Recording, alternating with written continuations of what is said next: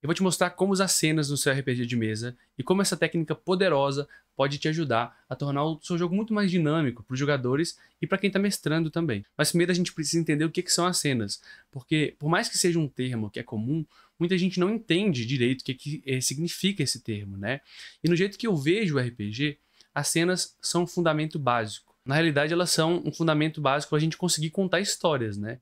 A cena é basicamente um contexto, um contexto que está em relação com alguma ação que está sendo feita. Ação no sentido de agir, sabe? Em outras mídias, como livros, filmes, a gente sempre vai ter cenas, porque tudo acontece dentro de um contexto. Até mesmo quando a gente vai contar a piada, a gente tem que estabelecer um contexto antes. Né? Na comédia eles chamam isso de é, setup. Você cria uma cena dali e aí no final você inverte as expectativas para criar a comédia no punchline. No modo como eu vejo, as cenas são como se fossem palavras que a gente usa para ir formando a frase, né, que tem um significado maior. E essa frase maior é a história que a gente está contando. E uma história legal né, que eu queria contar com vocês aqui é de ter vocês fazendo parte aqui da nossa comunidade do Dados Críticos, né? Porque muita gente acompanha os vídeos do canal e não é inscrita ou não está no Discord, por exemplo, né? E você ajuda demais comentando, divulgando, deixando like, né? E é de graça, gasta aí 10 segundos do seu tempo, né? E se quiser ajudar mais, tem um apoia-se também, que você recebe conteúdos exclusivos, além do nosso grupo exclusivo lá no Telegram, que a gente bate mal papo. Né? Então, voltando aqui para o nosso vídeo, né, eu vejo que muita gente, mas muita gente mesmo, não dá o valor devido para as cenas. Primeiro porque elas não entendem como que as cenas funcionam né, e o que, que elas são de fato. E segundo, porque muitas pessoas usam cenas no RPG mesmo sem saber que estão usando, né? E eu vejo que muito mestre mais antigo aí torce o nariz quando a gente está falando em usar cenas no RPG de mesa, principalmente porque eles acham que usar cenas é fazer o jogo se tornar em algo linear, é fazer o jogo andar num trilho, né? E isso porque o nome cena, às vezes, carrega a ideia de que a gente tá falando de um filme ou série. Daí eles acabam pensando que, pô, então, se é cena, então o mestre é um diretor que tá levando o jogo ali para onde ele quer, e os jogadores são meros atores ali. É, sabe? Não é isso, né? Isso é um grande mito, um grande mito. Toda vez que você estabelece um contexto em que algo está acontecendo, mesmo que você não chame isso de cena, você está fazendo uma cena no RPG. É um contexto onde uma ação acontece. Quando eu digo ação, novamente, eu estou falando no sentido de agir, né? E não necessariamente de uma ação de combate ou de algo desse tipo assim, tá? E aí a ideia desse vídeo surge porque quando a gente não sabe que a gente está estabelecendo cenas, a gente acaba podendo estabelecer uma cena de um jeito ou num momento, né, que muitas vezes é errado para aquele contexto ali. Muitas vezes a gente não sabe quando finalizar essa cena e passar para a próxima, né? E saber iniciar e terminar uma cena, fazer a transição, é muito importante para tornar o seu jogo mais dinâmico e também mais significativo para os jogadores, né? E eu vou explicar por quê. Porque quando eu mestro, por exemplo, eu gosto de dar muita liberdade para os jogadores, de deixar com que eles tentem o que eles quiserem. E logicamente, essas tentativas precisam ter consequências, né? E consequências reais. E daí, o problema é que essa liberdade irrestrita, muitas vezes, pode ser um problema. Porque os jogadores podem ficar perdidos em certo sentido, né? E enquanto mestre, você não precisa simular necessariamente tudo e narrar completamente tudo, né? Nenhuma história, pessoal, é sobre tudo. De certa forma, é impossível você abordar tudo ao mesmo tempo em todo lugar. Né? Quem já assistiu o filme lá, com esse mesmo título sabe é, que a bagunça que vira quando a gente tenta fazer isso, né? Não tem como a gente falar todas as palavras ao mesmo tempo, tem que ser uma de cada vez. E uma cena, ela precisa abordar alguma coisa. E para um RPG de mesa, o jeito que eu vejo que importa mais da gente colocar em cenas aqui é, são cenas onde ocorrem escolhas que são significativas, né, a serem feitas por parte dos personagens, não por parte de NPC ou de qualquer outra coisa são escolhas que vão realmente ter consequências que significam alguma coisa ali dentro do contexto. Essas consequências podem ser boas ou ruins, isso vai depender da, das ações que eles tiveram, mas elas precisam existir, né? E eu queria fazer uma pergunta.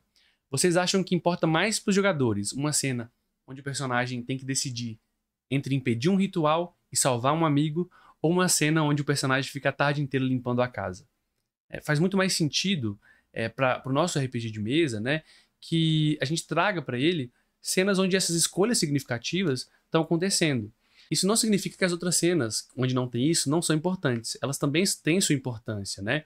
É, mas é importante ter essa dinâmica, porque também, se tudo for ação, ação, ação, ação, no sentido de escolha significativa, escolha significativa o tempo inteiro, não dá tempo de sentir muito bem essas consequências, né? E sentir de fato que isso está importando. E aí é legal você alternar entre essas cenas onde tem essas escolhas e algumas cenas aí que eu chamo de cenas de reflexão, né? Então, apesar de ser muito importante a gente ter cenas onde escolhas significativas estão acontecendo, também é muito importante a gente ter cenas onde essa reflexão vai acontecer.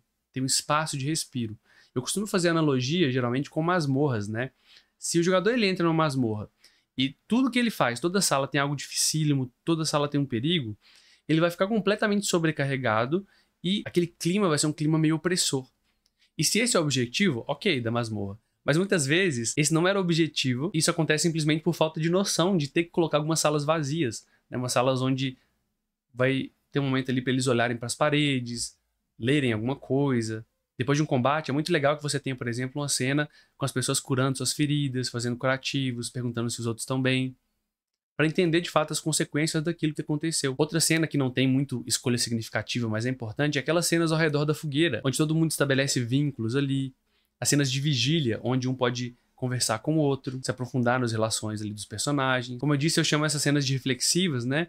E no RPG que eu estou desenvolvendo lá junto com o Walter, meu amigo, o Fractal, a gente criou até uma mecânica para isso. Se você quiser conferir, o link está na descrição. Mas o grande problema mesmo que eu vejo é que muitas vezes não existe esse equilíbrio entre esses tipos de cena aí, e o que acaba acontecendo é que todas as cenas têm ação e não dá tempo de refletir, ou o extremo oposto, onde a gente passa a ter muitas cenas reflexivas que quando acontecem em excesso acabam deixando de ser reflexivas e acabam se tornando, né, vazias, né? A gente chama isso de espaço vazio. Eu posso dar um exemplo prático aqui de uma mesa que eu mesmo mestrei e que eu comecei a mestrar é, na exploração de masmorra. Então, quando você está mestrando exploração de masmorra, você descreve cada sala com detalhes, porque você está simulando aquilo ali.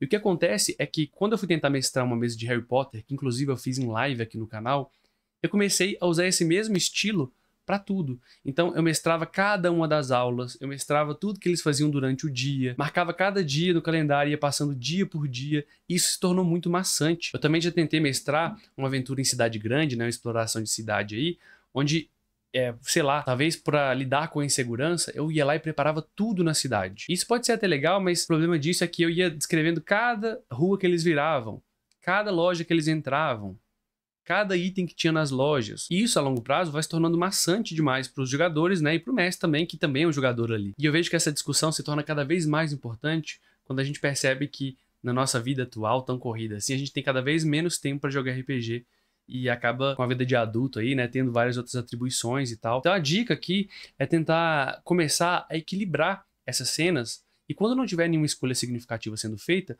você simplesmente pode pular para a próxima cena. E você pode fazer isso de várias formas. Você pode falar assim: "Nossa, vamos para a próxima cena, galera". Falar isso abertamente e aí faz um corte seco para a próxima cena, ou você pode simplesmente fazer como a maioria dos mestres fazem, que é fazer um resumo ali narrativo, né, do que que acontece. Enquanto tava aquele espaço vazio, que nada ia ser significativo. Por exemplo, né, vocês se dirigem então em direção à cidade e no caminho vocês veem montanhas enormes à direita de vocês vocês veem que tem uma floresta à esquerda, muito verde, a cidade vai se aproximando ao longe, e de repente, quando vocês se veem, vocês estão logo em frente ao portão com várias lojas ali, e um guarda chega para vocês perguntando quem são vocês. Você percebe que todo aquele espaço da viagem, que muitas vezes não teria uma escolha significativa, foi feita uma passagem dentro de um resumo. E aqui vai um alerta gigantesco, tá? Porque eu tenho certeza que nesse momento alguém já pausou o vídeo para poder comentar que, ah, mas eu não curto esse estilo de jogo, né? Isso é um estilo de jogo. Vão ter pessoas que vão gostar de jogar essa viagem detalhando minúcias, simulando tudo. Em alguns tipos de mesa, isso vai ser útil e vai ser interessante porque essa é a proposta daquela mesa. Ou seja, uma mesa mais simulacionista, onde você vai explorar cada um desses espaços assim e até explorar esse espaço vazio, mesmo que não haja nenhuma escolha significativa, né? Isso é muito o estilo de se jogar Hexcrawl, por exemplo, que é a exploração de hexágonos, né? E de explorações de masmorra também. Mas isso vai depender muito do interesse dos jogadores e naquilo que é a proposta da mesa. Esse estilo de mestragem não precisa ser usado em tudo. Até mesmo na mesma mesa, ele pode ser usado em diferentes momentos ou não. E aí vem um segundo alerta que é como que a gente identifica as questões que são escolhas significativas ou não, tá? Já vou falar sobre isso. Então, como a gente consegue identificar qual é a próxima cena, qual é a próxima cena que vai ter uma escolha significativa, né? O importante aqui é observar a intenção dos jogadores porque a intenção deles vai indicar qual que vai ser a próxima cena. Enquanto mestre, é legal da gente pensar nesse momento a pergunta, né? Qual é a próxima escolha relevante de ser feita aqui, né? Ao meu ver, eu vejo que um dos fundamentos aqui de mestrar é o mestre colocar obstáculos para que os jogadores consigam superar ao tentar encontrar os objetivos deles, né? E quando o jogador indica que ele quer, por exemplo, fazer uma viagem de uma cidade para outra, ele está declarando a intenção. Você, enquanto mestre, tem parâmetro para dizer, já que você conhece um pouco do cenário que está acontecendo por trás dos panos, se existe ali perigo envolvido ou não. E daí você pode pular para a próxima cena onde vai existir essa escolha relevante, né? Onde vai ter esse obstáculo. Se você não tem certeza se há um obstáculo ou não, se há perigo, você pode falar isso com os jogadores e usar uma ferramenta, por exemplo, encontro aleatório. Mas se não tem de fato, já pensaram, não tem nenhuma escolha que é significativa, pula para a próxima cena faz um resumo aí narrativo ou simplesmente faz um corte seco. Outro problema, né, que é algo que eu já fiz muitas vezes, é tentar apresentar uma escolha que na verdade não é significativa, mas a gente apresenta enquanto mestre essa escolha para os jogadores, né? Nesse exemplo que eu dei de viajar de uma cidade para outra, né? Como mestre, uma vez eu apresentei uma escolha onde eles podiam, sei lá, escolher se eles iam pelo mar ou pela floresta. Eu dei algumas opções ali, ou eles mesmos viram quais eram as opções mais viáveis e tal. Mas no fundo, qualquer uma que eles escolhessem daria na mesma. O tempo e a distância era o mesmo, em ambos eles iam encontrar encontros que eram semelhantes. Eles até podem escolher nesse caso. Mas isso não precisaria tomar muito tempo da mesa ou exigir um debate gigantesco, né? Porque não era significativo. Agora, os jogadores não sabiam disso, então quando você apresenta para eles uma, um obstáculo, muitas vezes eles estão achando que isso vai ter consequência de fato, né? E é por isso que a gente precisa criar essa consequência. Agora, se você oferece parâmetros para eles e fala, olha, pelo mar existe a chance de vocês serem encontrados por piratas, abordados, mas é muito mais rápido. Pela floresta vai demorar muito mais, mas vocês vão mais seguros e tal. Eles têm informações, ou seja, parâmetros para tomar uma decisão que realmente vai ter consequências. A gente quer ser mais seguro e demorar mais, ou a gente quer ser mais rápido e ter um perigo envolvido.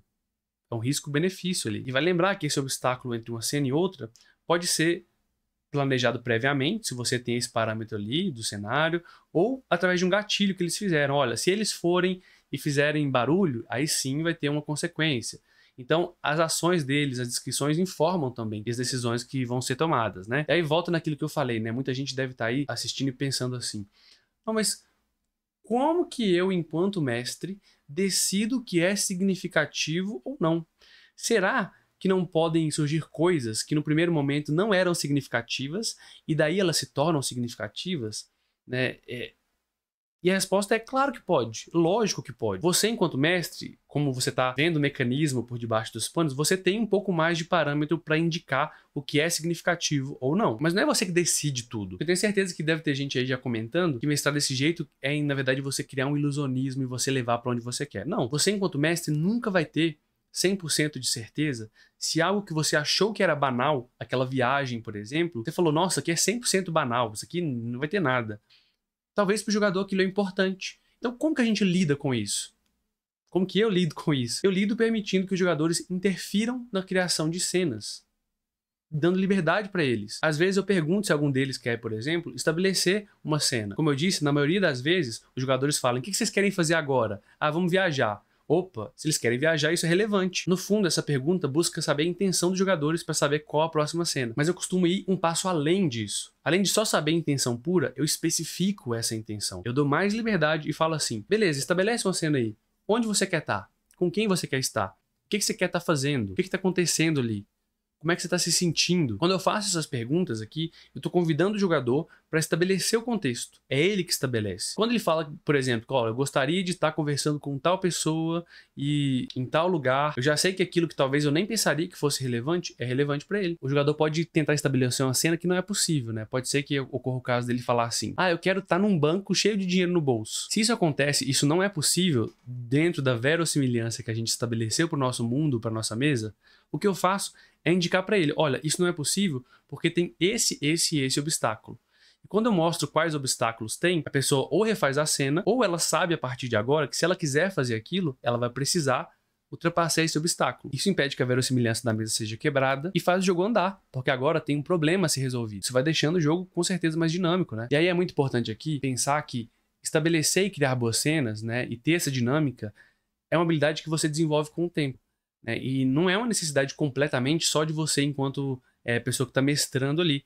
Porque a diversão da mesa não está toda nas suas costas. Não é responsabilidade só sua, mas do grupo como um todo. Não adianta nada você saber prestar atenção nas intenções, fazer as transições de cena, se o jogador, por exemplo, não sabe declarar bem as intenções que ele tem se ele não tem objetivos claros, se esses objetivos não são congruentes com os objetivos do grupo, se ele não sabe, às vezes, pegar um gancho que foi colocado ali, se ele não vai atrás dos objetivos e nem busca ultrapassar os obstáculos. Não adianta nada você estabelecer uma boa cena se isso não acontece. Então a responsabilidade pela diversão é o ver de mão dupla. Você tem que estender a mão e outra pessoa tem que apertar a sua mão mas isso é tema aí para um outro vídeo, tá? Então, para fechar nosso vídeo aqui com chave de ouro, vou passar algumas dicas para você estabelecer boas cenas, né, e como fazer essas transições de uma cena para outra. O mais importante é saber identificar o conflito. E o conflito sempre vai ser uma pergunta, um porquê. Uma pergunta que está em aberto né, e que precisa ser resolvida. Por exemplo, será que o Lorde vai ajudar os jogadores? É, será que eles vão encontrar pistas naquelas ruínas? Eles vão sobreviver àquele dragão? Todas essas são perguntas diferentes. Você percebe que cada uma dessas perguntas aqui pode gerar cenas diferentes, né? Pode ser uma cena de combate, pode ser uma cena de conversa, de negociação, pode ser uma cena de exploração. No meu ponto de vista, pessoal, mestrar é um diálogo. Você coloca as cenas, que são as perguntas ali, e jogadores vão tentando, junto com você ali, encontrar as respostas nas ações deles, né? E as consequências e tudo isso vão respondendo aquelas perguntas ou gerando novas perguntas. Uma cena boa é uma cena onde o conflito não se resolve de forma fácil. Né? É uma cena onde tem um obstáculo ali. Então é legal que a cena tenha o que eu costumo chamar de treta. E o Justin Alexander, né, no livro dele, no qual eu me inspiro bastante, né, no meu jeito de mestrar, lógico, com muitas interferências minhas, chama essa treta aí de bang. Essa treta, ou esse bang, é algo que vai colocar o jogo em movimento. Algo que muitas vezes vai forçar os jogadores a ter que tomar uma decisão, uma escolha significativa. E é algo que você pode colocar no início da cena, ou você pode estabelecer a cena primeiro e depois colocar. E não necessariamente, né, precisa ser um combate. Muita gente cai diretamente no combate, né? Uma treta, ela pode ser um guarda que vem questionar, ela pode ser um item que aparece, um item que tá brilhando, né? Toda treta em si vai carregar uma pergunta. Será que eu toco nesse item mágico que tá brilhando aqui ou não? Quando essa treta é colocada, e você pode ter mais de uma na mesma cena, né? Escolhas vão sendo feitas e consequências vão acontecendo. E muitas vezes, um bom indicativo para quando a gente vai encerrar e fechar a cena é quando a gente tem aquela resposta para a pergunta que a gente tinha feito no início. Então essa pergunta era: será que o jogador vai revelar a identidade dele para o guarda? E ele conseguiu conversar ali e decidiu não revelar a identidade, passou em alguns testes, se eles forem necessários, né? Seguiu adiante. Talvez seja um bom indicativo para fechar aquela cena. Isso se não tiver nenhuma outra pergunta que foi gerada a partir disso, né? É muito comum que depois que essa escolha é feita, a escolha significativa, ela é feita pelo jogador ali, pelos personagens, que a cena vai diminuindo um pouco o ritmo, as coisas vão ficando mais lentas. E eu costumo deixar isso se estender por um pouquinho, né, para que eles consigam refletir um pouco, e daí eu corto, perguntando, né, qual que, que eles querem, qual a intenção. Outro bom sinal para fechar a cena é cortar ela quando um personagem importante sai da cena, seja um personagem de jogadores, um NPC, né? Porque se a pessoa com a qual eles querem conversar não tá ali mais, às vezes ficar estendendo aquilo ali não faz sentido nenhum, né? Então eu costumo cortar aí também nesse caso e já fechado ali e faça um resumão. E aí basta a gente ir fazendo uma transição para a próxima cena e daí para a próxima cena e a gente joga o jogo inteiro assim. Geralmente os mestres fazem: "E aí, o que, que vocês fazem? E agora? O que vocês querem fazer?" Mas eu sempre abro espaço também para perguntar: "E agora? Vocês querem estabelecer alguma cena? Se não querem, eu vou para a próxima." E aí vai. Às vezes não tem como eles estabelecerem uma antes, né? Porque a consequência de uma cena é outra cena que vem logo em seguida. Mas sempre que tem espaço, eu pergunto se eles querem fazer ou puxo uma cena reflexivazinha ali que eu acho interessante para dar essa dinâmica no jogo. Perguntar se eles querem fazer uma cena é algo interessante, né? Principalmente para cenas reflexivas, porque às vezes o jogador fica muito tempo querendo conversar com o outro ali, dentro do personagem, estabelecer um vínculo, fazer planos, fazer alguma troca, sei lá. E isso dá liberdade para eles para propor cenas e levar o jogo também pro caminho que eles querem, sabe? Eu acho muito legal permitir isso, tenho usado cada vez mais nas minhas mesas. Essa estratégia de pedir para eles estabelecerem cena também funciona muito bem para apresentar personagem. Eu costumo pedir para eles apresentarem o personagem já fazendo uma cena, alguma coisa ali que chama atenção. E aí, às vezes, eu entro no meio com um NPC, ou criando alguma treta ali no meio, algum conflito, né? Particularmente, eu acho que quando eu entendi melhor, e comecei a estudar e pensar mais como as cenas funcionam, meu jogo melhorou bastante. Outra dica importante é entender que essas reflexões e pensamentos sobre quando encerrar uma cena, é, a gente faz depois, tá? Na hora da mesa, só joga do jeito que você joga mesmo. E quando for ter percepção, olha, devia ter cortado aqui. Anota isso durante a mesa, mas não fica se prendendo demais, não, porque tem gente que fica rígido demais. Aí ah, devia ter feito isso aqui agora. Nossa, vou fazer a cena aqui agora. Não faça de forma rígida assim, não. É um jogo, se divirta, joga do jeito que jogar. Depois, se quiser pensar para aprimorar, aí ok. Mas não permita que isso também, que é só uma dica, tá? Seja um limitador para transformar a sua diversão e pautar sua diversão e transformar ela em algo que deve ser super mecânico e tem o jeito certo. Lógico, são boas práticas a partir do que funciona para mim, mas avalie se funciona para você também. Mas lembrando que uma cena pode ser qualquer coisa, literalmente, um combate, interação social, exploração. Inclusive, né, eu uso essas cenas nesse modo no meu jeito de criar aventuras, porque aí eu crio cenas que se ligam com pistas às outras e aí vai fazendo uma estrutura, não necessariamente é linear, ela pode ser linear, mas ela pode ter vários caminhos que eles escolhem para onde eles vão, que é o que eu prefiro fazer, que é mais divertido, a gente vê o que, que acontece, só cria um conflito ali e joga eles no meio. E se as campanhas são basicamente aventuras interligadas, Basicamente, você consegue criar qualquer coisa dessa forma. Mas isso aí de como preparar aventura é um tema para um outro vídeo. E se você quiser acompanhar aqui, seja um criticante e se inscreve no canal. Link das comunidades na descrição.